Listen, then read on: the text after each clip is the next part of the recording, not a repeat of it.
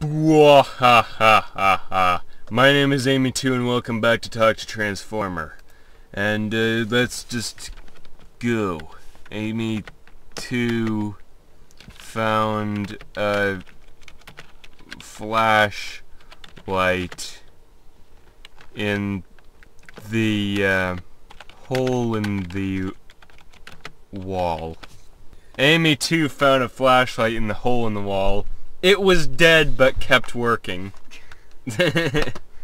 While extracting it, uh, the firefighters found two cans of Doritos and uh, with spit in them. Excuse me, what? Then five minutes later, another flashlight. One of the firefighters thought it was a gun. Uh, thought was a gun. Went off, causing the break in the door. One of the firefighters was having second thoughts because they found a bloody bandage on the barrel of the gun. Tear gas grenades. It was around 11 p.m. when the firefighters noticed that the restroom door had not been forced open.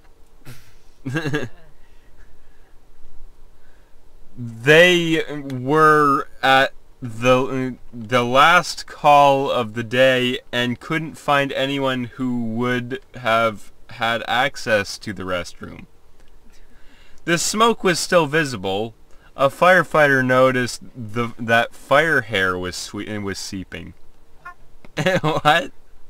Amy too found a flashlight in the hole in the wall. She ran then ran to the back bedroom and hid in the closet as she heard an off-gassing sound. What? The door to the first bedroom she went to open and Jack cut his throat as they both went for it. Because her family dog was outside. They found her dog chance and were able to make it to the nearest town hall. At this point, everyone at the table starts asking us where we've been, how long we've been there, why is everything a blank slate? Neither of us felt comfortable divulging any information.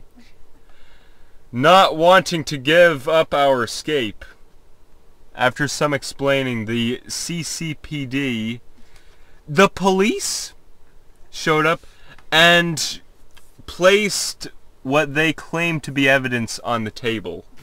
Those dot dot dot. What they claimed to be evidence.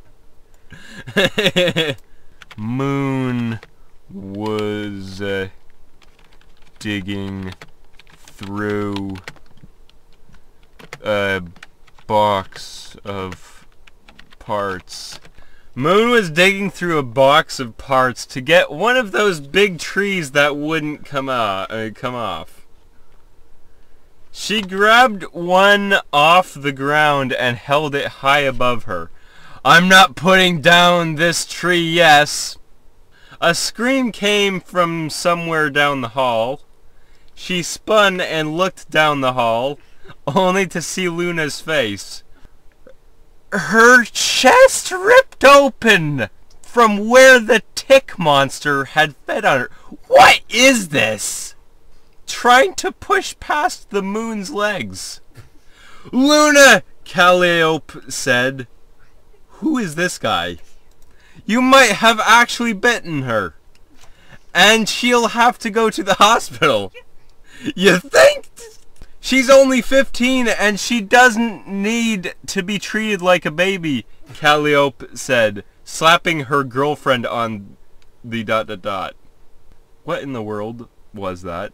Moon was digging around, uh, digging through a box of parts, when he heard a noise that wouldn't stop. As he looked around, he saw that the girl was crouching in front of him, hands on her knees. What's wrong? You can't read me? she asked in an unnaturally calm voice.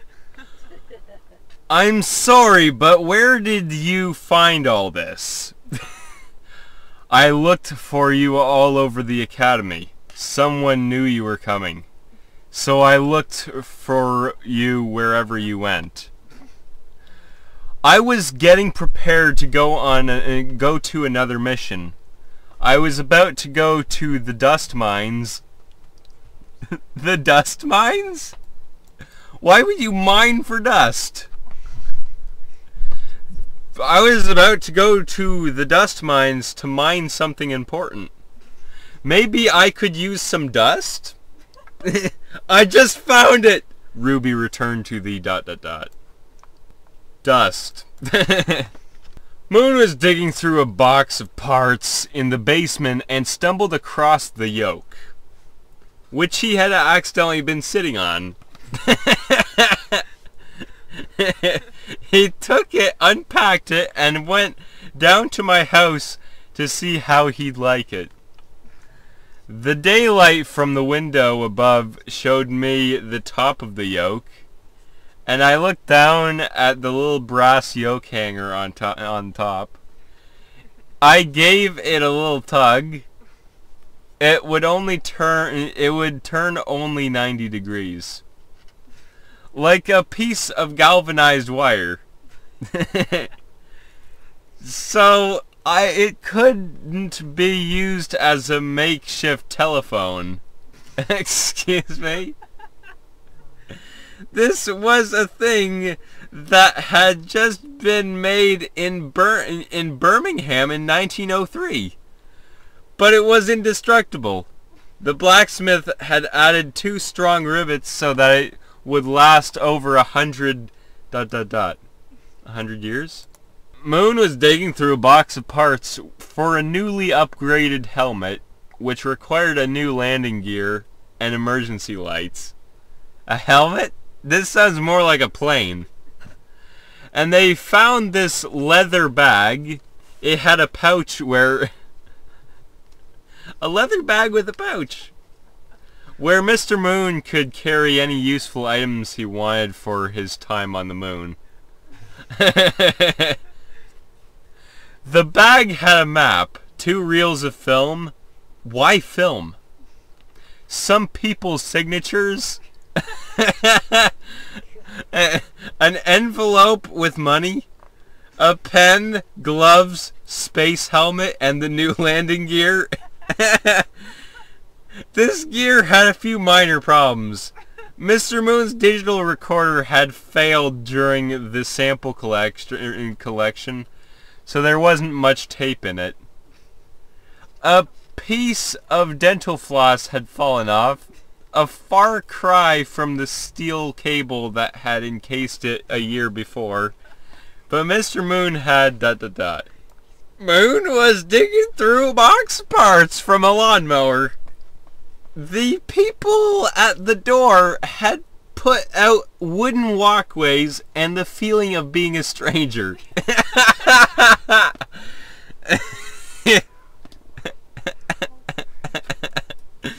wooden walkways and the feeling of being a stranger. But even if you found yourself the only one on the floor, with your back to the stairs, you weren't alone. The house was full of things you could ho to hold on to. Are you implying that you're gonna get extremely drunk? She snuggled into his body and began imagining him into the war in the warm house, getting her coffee, doing his taxes. She imagined him working at the house where she had grown up. Her father, the architect, the past, the present, the future. Yeah, he said, you don't have to do that.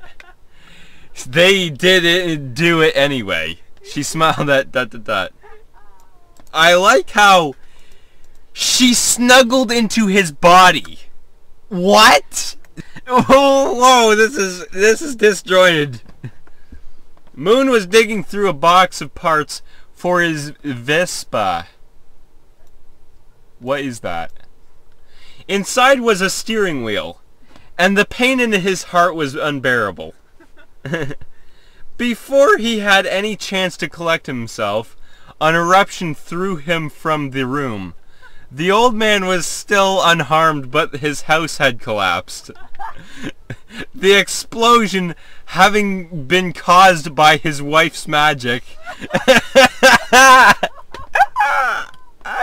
he barely made it out of the room before collapsing. I'm so sorry, my dear, Evie said with an apologetic smile. Don't worry about that. The comet was nowhere to be found. What? Weed had been running from around in the rubble for about half an hour before he came upon the rest of his friends. He gathered them up and apologized. A guy called Weed? This guy is called we- Weed. What? Sledder watched as a guy you used magic. what is this? Sledder watched as a guy used magic to slow his voice. The man ran up to him. Well, well, well, what do we have here? you know, because he slowed his voice. The guard was taken aback by the sudden outburst. You're the famous Cloud Man, aren't you? He, he said, recognizing one of the monsters from a few movies. I'm here to steal money and bring ma- back my son, the man explained. Cloud Man blinked. Oh, really? Yes, really. Well, why don't you come over here and and let me show you my world, Cloudman said. The guard shook his head. No, I don't think so. so. Well, it dot dot dot. I like how the the guy just said, "I'm here to steal money and bring back my son." Sledder watched as a guy used magic to create an explosion in the middle of the strip of flesh. that kind of explosion is ideal for the evil eye spell, which marks its victims with burning pain. Yes, get that flame out of me, said Katawina. Pointing at Shandy, the group moved with quick, natural, instinctual movement as they moved forward. Shandy felt a blast of cold air, and then a surge of energy was sucked up into his body. It hit him in his face, driving his eyes wide open and sending his vision darkening. Rory woke up in a cold sweat. She barely had time to cast a warm blanket on herself before a loud scream aroused her from her discomfort. what was this? What? Sutter watched as a guy used magic to rearrange each snowflake into a bigger snowflake. Like a crab's claws. That's what they do, Sledder said. they use those claws like ice axes to chop to chop and form a snowflake. ice axes? What? They come together at the bottom and go over to the top, making a larger snowflake. The sawdust was eventually cleared away to reveal what Sledder calls a happy pile. Essentially more snow. this one can have an apartment in it, Slayer said.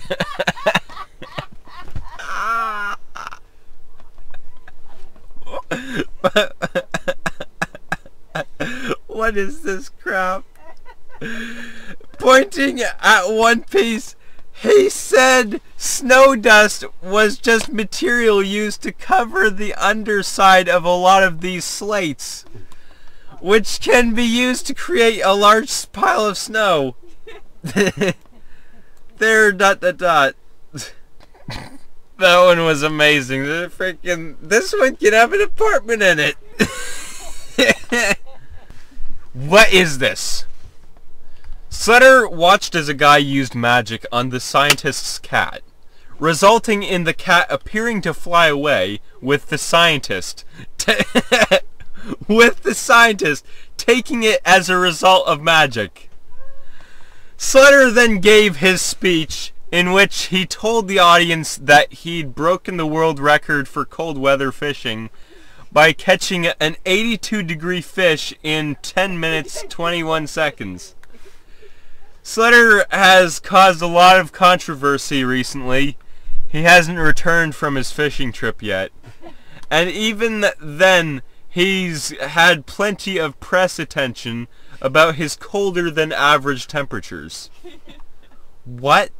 Slater watched as a guy as a guy used magic to send the ball into the net and one and wondered out loud, did he see it? At the same moment, somebody called out, It's the greatest shot I've ever seen! I asked for it, Skipper replied. Skipper. Skipper? You mean like Gilligan Skipper? I had a hard time saying no. There was no way I was going to turn him down. Just as he was about to make the move, It's the greatest shot I've ever seen, Skipper said, too loudly to be heard by the whole stadium. Fulton Count- County Stadium is just one of the one of a few homes in the Red Wings minor league affil- affiliates. So many teams have fled to Florida. Detroit has not had a Western hockey dot dot dot. Slater watched as a guy used magic to turn a soccer ball into a drink. huh? said Scott. There it is, excla- exclaimed Frederick. Frederick, why are you in a convenience store? I was coming to collect my supplies from uh, Kel- uh, Kelowna, said uh, uh, Frederick. Here, I'll show you to your quarters. You'd better take good care of your supplies. Frederick then produced a heavy black case. I bought this, I brought this with me. They are really magical, said Frederick. Really? Are they? I didn't know they could do magic, said Jack. Yes, really, they're a property of magical spirit called dot dot dot. A property of magical spirit. Slater watched as a guy used magic to build a castle out of ice. His skin turned blue. It was a little strange for him, but he accepted the whole the entire thing as a part of his routine. Kala had long and her legs shined in gold. When she rolled her legs up to the ankle to her ankles, excuse me, she seemed to stand on tiny little socks. what? Though that wasn't the look she wanted to give to Luna. Her body was breathtakingly smooth, and she was a force to be reckoned with. Her body temperature seemed to be even with hers, which seemed more than could be said for Luna. they were unaware that someone was spying on them. They were all mesmerized. Luna was staring was staring at the horse. She didn't dot dot dot. You mean what Luna thought was Kala was actually the horse? Big boy and Buddy was making a new space weapon. what is this? Big Boy and Buddy was making a new space weapon. And we're kind of working on something right now, so I don't know when we're gonna get to it. Until that time, I just feel like we've got to make sure we can do what we can to make sure that what we're doing isn't a distraction. The Vapors. This most recent addition to the Stone's Throw Roaster comes fr- from a pair of hip-hop groupies and collaborators.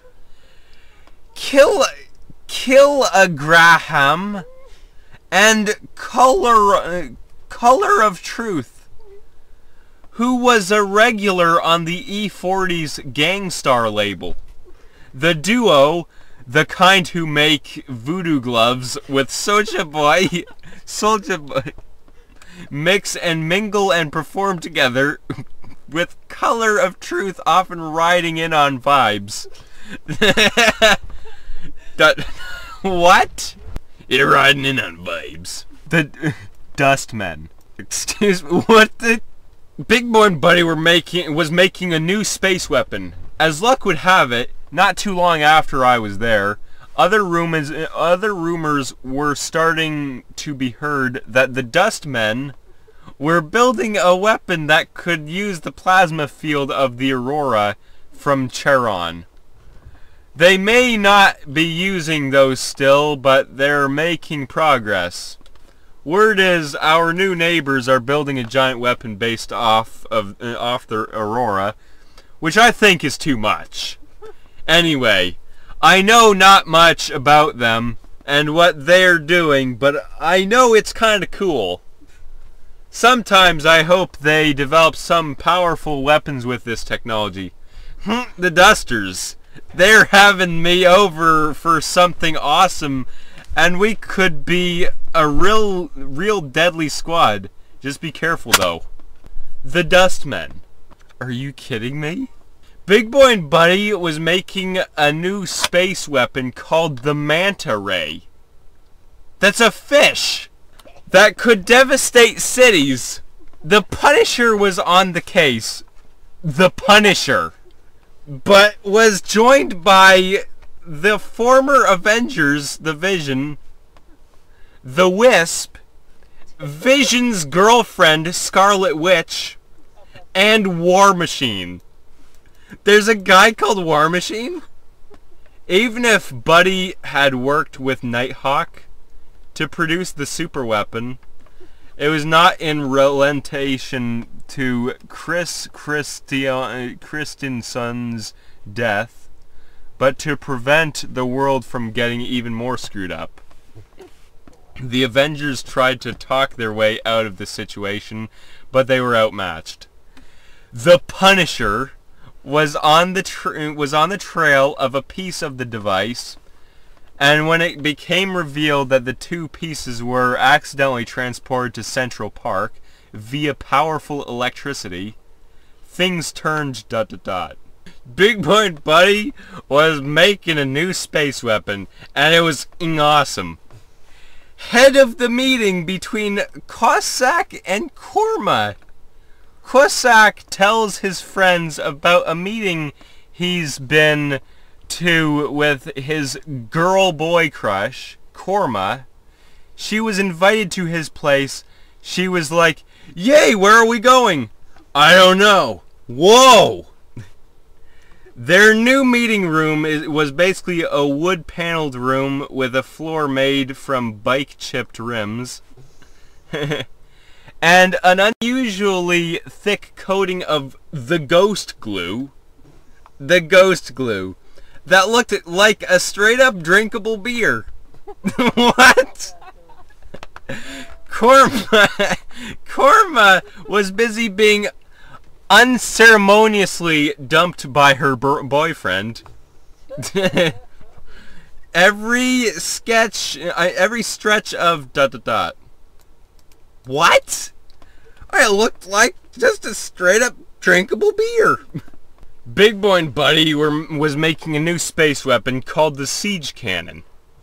It was a massive gun that would rotate as it fired and was well into the development stage before being cancelled. Dr. Eureka tried to convince Nick Fury to incorporate the device into his Iron Man suit, but Fury rejected the idea. Eventually, Iron Man dropped out of the project at the last minute due to Fury's refusal to even consider it. During this period of development, Stark created the Iron Patriot armor as part of the project Farah to keep, I mean, to help keep the peace in China. but it would also become one of the most advanced battle suits ever created, albeit during the Vietnam War. which would introduce the wo- the robot drones that would la later be used in dot dot dot. What? Uh yes, Vietnam War, 2067. I end this video here. If you liked it, please subscribe. And I'll see you, uh, go look at my other videos, and I'll see you in the next video. Bye.